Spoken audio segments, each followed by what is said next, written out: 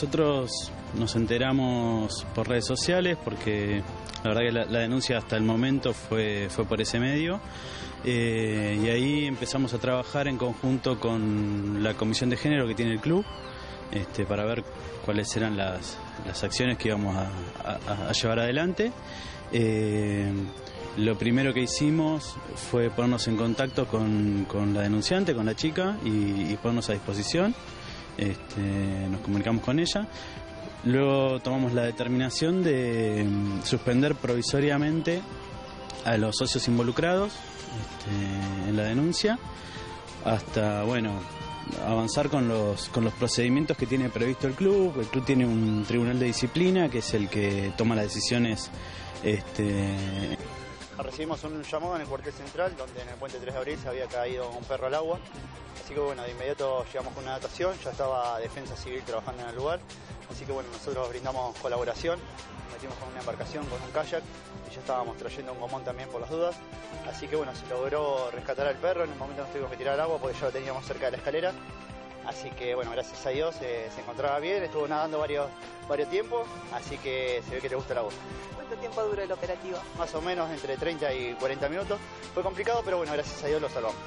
Decíamos, fue complicado porque el perro de alguna manera no podía ser sujeto por los elementos con los que cuentan las fuerzas de seguridad. No, seguro, y aparte el perro estaba agresivo, entonces en un momento por eso no lo podíamos agarrar bien. Anoche estaba volviendo por la calle 26, estos 26, 63, 64. Nada, venían unos chicos en, contramano en una moto, eh, rápido, y nada, me, apuntaron con un arma, me persiguieron por la calle, yo corrí un poco, me, apuntaron con un arma. Y nada, me gatillaron, el tiro no salió y yo me tiré al piso. Cuando me tiré al piso, bueno, me, me hizo como un par de golpes, pero fue para por el susto me tiré al piso para evitar si salía el balazo y nada, después eh, eh, ellos se acercaron, eh, me pusieron el arma en la cabeza y me, pidieron las cosas, yo se las di, tenía 80 pesos, una cosa así, en una billetera con los papeles del DNI y esas cosas. Y tenía un teléfono y un reloj que, bueno, cuando me costó sacar el reloj, se la tercera vez que roban. Eh, bueno, como vieron el video, prácticamente es esto fácil de abrir. Eh, entraron, se llevaron la moto. La anterior vez se alejaron un departamento y vienen robando bicicletas. eh, creo que tres, cuatro veces entraron. Como era, contra fácil entrar. Eh, no hay ninguna seguridad. entran como pancho con su casa. Si, vieron el video, si, la, verdad que así, como, como vieron, fácil de entrar. Me decías que anteriormente desvalijaron un departamento. Sí, sí, el primero C donde yo vivo lo dejaron sin nada. Eh, nada, o sea, esto tenía que estar arreglado, no estaba arreglado. eh, estaba falseado de la vez que entraron a robar, por eso lo abrían manualmente, como se ve en el video.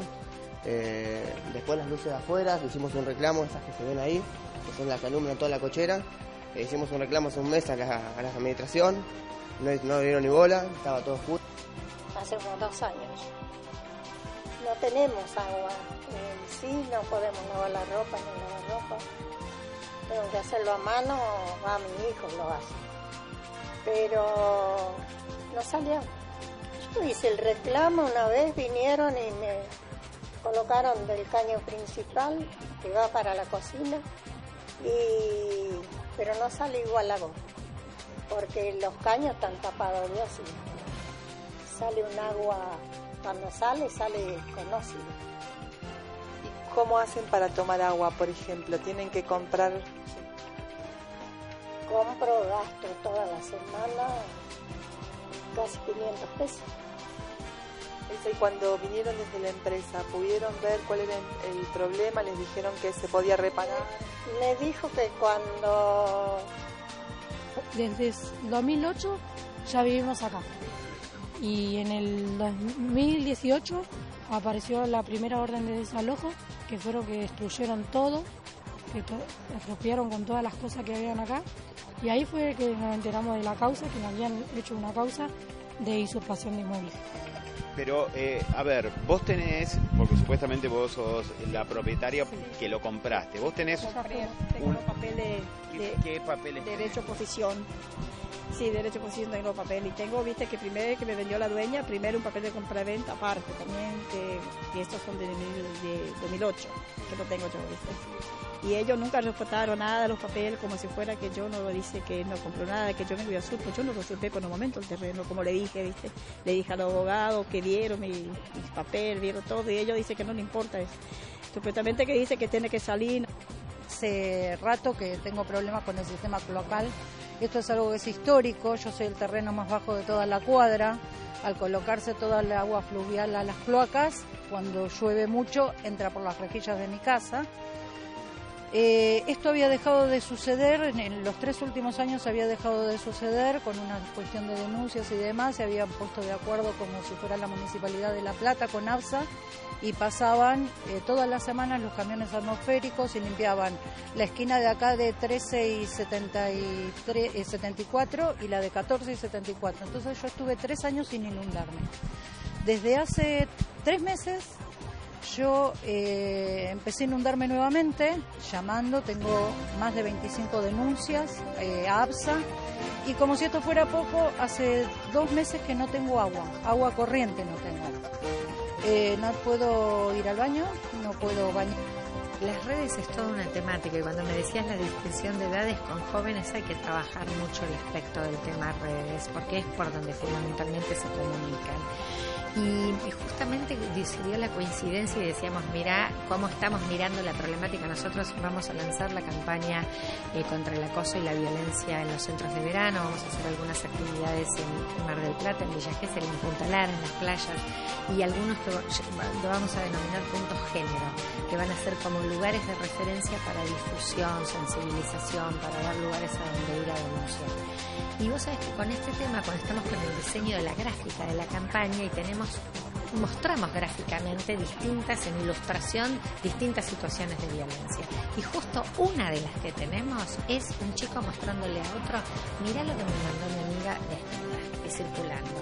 Eso es violencia, eso puede configurar delito y eh, eso hay que prevenirlo y hay que intervenir. Y nosotros seguimos siendo la ciudad con, el mayor índice de, accidentes y bueno de víctimas fatales eh, en, el, país, siempre teniendo en cuenta la cantidad de, habitantes que, tiene la ciudad. Nosotros en el año 2019 tuvimos 59 personas que han perdido la vida por, un siniestro vial. En su mayoría se desplazaba en una moto como conductor o acompañante y no utilizaba el casco. Eh, seguimos planteando lo mismo, digamos, las avenidas 72, la avenida 44, la avenida 520, la 122, siguen siendo las arterias con el mayor índice de accidentes. Un dato a destacar que venimos destacando es que el 60% de las personas que adquieren una discapacidad es por un accidente de tránsito. Ahí tenemos problemas familiares, el Estado que gasta mucha plata en la asistencia, en la rehabilitación y bueno, y posteriormente si hay que darle una, eh, una pensión o, una jubilación por, por discapacidad. ¿Ustedes a qué lo atribuyen? Cada vez más se, se, conocen los, los, efectos y las, y las consecuencias de una malnutrición eh, temprana eh, en el desarrollo no solamente del sistema inmune, como te decía, sino también del sistema nervioso y en realidad de, todos los, de todo el organismo. Nosotros hace bastante tiempo que venimos estudiando el, efecto de la malnutrición materna durante la gestación y la lactancia sobre algunos aspectos del sistema nervioso central y lo que publicamos hace poco fue que eh, fue un trabajo interesante que mostraba, por ejemplo, diferencias en cómo se establece la conectividad, es decir, la relación, la conexión entre las regiones del cerebro, cómo eso cambia en casos de restricción proteica durante la gestación y la lactancia. Eh, pero hay muchísimos eh, aspectos del organismo que se, que se alteran o que son diferentes en situaciones de malnutrición. Hay, algunos, algunas cuestiones que son reversibles, quiero decir con esto que eh, mucho de lo que pasa durante, por ejemplo, el embarazo o la preñez en el caso de los animales, digamos, no todo, el, por ejemplo, el desarrollo del sistema nervioso ocurre en ese periodo, entonces también es importante eh, pensar en el...